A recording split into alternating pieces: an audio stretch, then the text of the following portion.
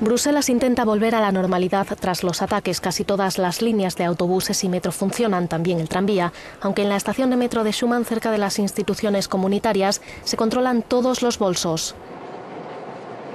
En el barrio europeo, relativa calma y mucha seguridad. Hemos preguntado a algunos trabajadores. ¿Se siente seguro hoy en Bruselas?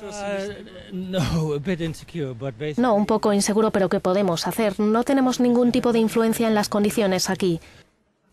Algunas portadas de los periódicos este miércoles hablaban de horror y de guerra. La comunidad musulmana ha condenado los atentados y ha recordado que el Islam significa paz, nunca guerra. Estos días no están siendo fáciles para este dependiente. La gente nos mira, nos mira a los ojos, a la cara, como diciendo que nosotros podríamos haberlo hecho, pero no tenemos nada que ver con eso. Por tanto, estamos muy afectados, así que es hora de despertar y decir a los líderes que tienen que hacer algo para cambiar las cosas. Este doble ataque se ha producido tres días después de que la policía belga detuviese a Salah Abdeslam, presunto cerebro de los atentados de noviembre en París, donde murieron 130 personas. Las muestras de solidaridad se multiplican.